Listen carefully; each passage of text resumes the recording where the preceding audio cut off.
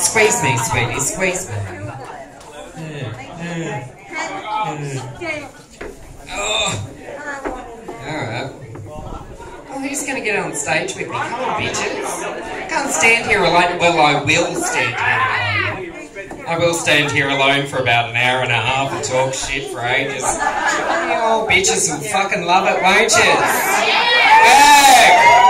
You're fucking welcome. Uh, do we have more than one microphone, at least? Um, Amber Dextrous is at home having gender identity crises. She's finally realised that she has balls.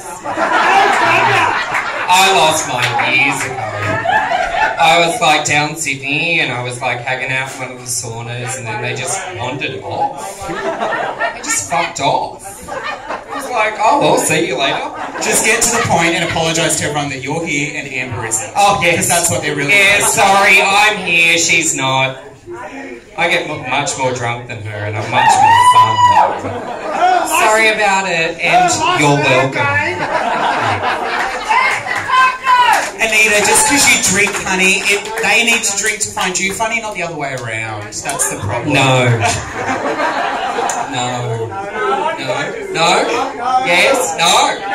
He's agreeing. Maybe. And it's the mid- mid- Hands up, who loves Anita Man tonight?